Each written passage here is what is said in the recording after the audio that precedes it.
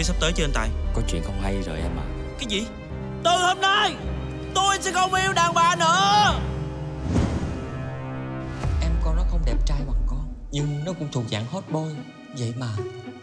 Bị bóng. Cái xóm này sống bằng nghề gì? Làm gốm Làm gốm rồi bây giờ người ta lấy đất rồi, rồi sống bằng nghề gì? Làm ga Má! Trời ơi Giữ nó lại Hùng ơi! Bà làm gì má la vậy? Thằng này Con có biết con lỡ một giây Mới nhục một đời hay không? Đứng lại. Ông bình tĩnh. Đứng ra Đồ biến thái. Cái clip này mà tung lên mạng một cái là mày chết cắt Mày sẽ không còn là giám đốc nữa Mà mày chuyển qua mày làm diễn viên của hãng phim con thỏ. Nó là đàn ông rồi.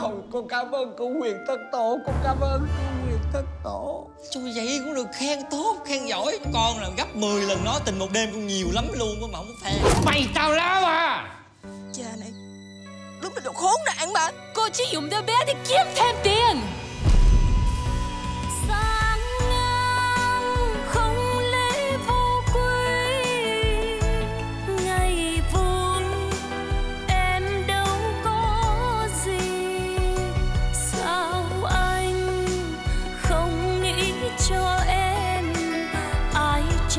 cho em một nửa đời lỗi hẹn.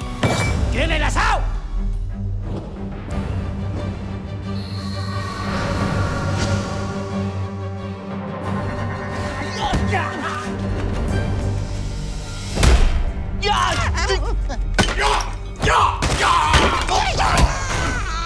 Dám bắn em tao hả mày?